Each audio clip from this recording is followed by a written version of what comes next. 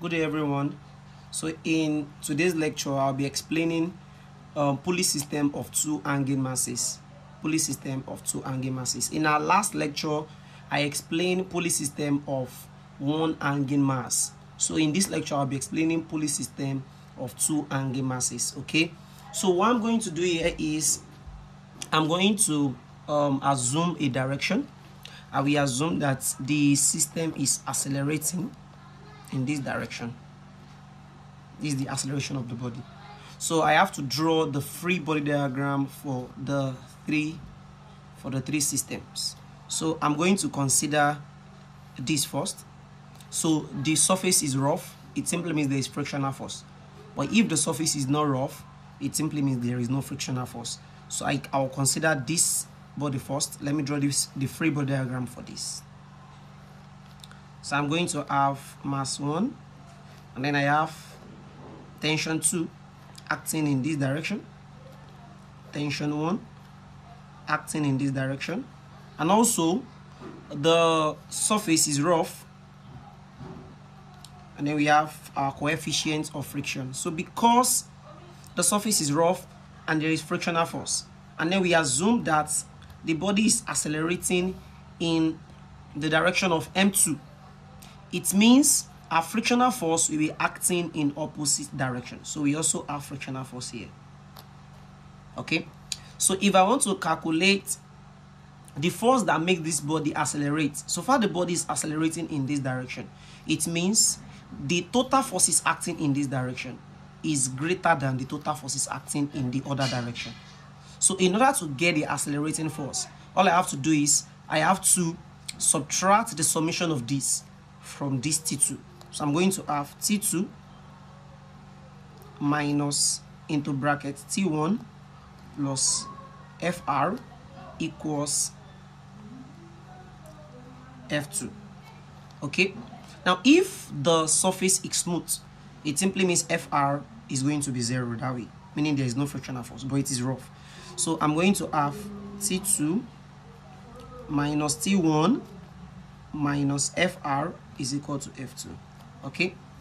Then T2 minus T1 minus, in my last lecture, I told you guys that FR is mu mg. But now we are considering M1. So that will be mu M1g equals M1a. Okay?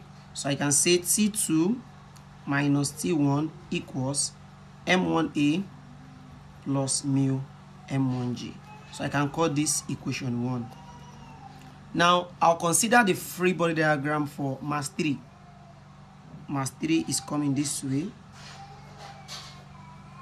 This is mass 3. And then this is the tension on it.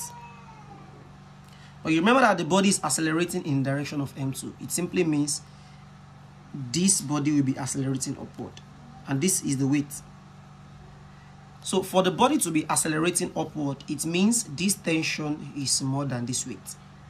So to get the accelerating force, I'll subtract the weight from the tension. That'll be T1 minus W3 equals F3. So T1 minus M3G equals M3A. Then T1 equals M3A plus M3G. So this is equation 2.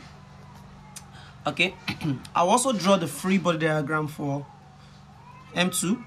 So I'm having M2, M2. I'm having M2. Okay, so this is the tension, and then the weight is acting downward. But the body is accelerating downward. Is that not? That shows that W2 is greater than T2. So to get the accelerating force, I'll say W2 minus T2 is equal to F2, the accelerating force.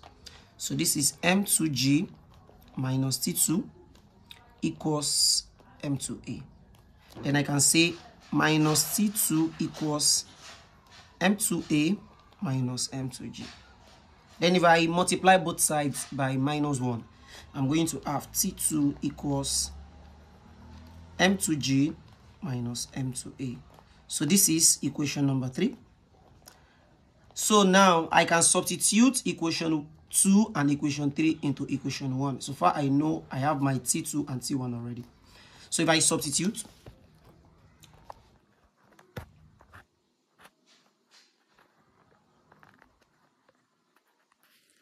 okay, so if I substitute that, I'm having my equation.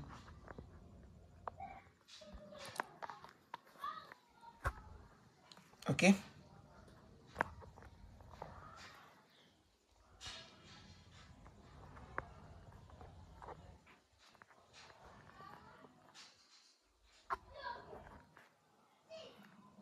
Okay sorry for that. Um i'm having my equation one to be equals to t2 minus t1 equals m1a plus mu m1g okay? Then my t2 is is this. That is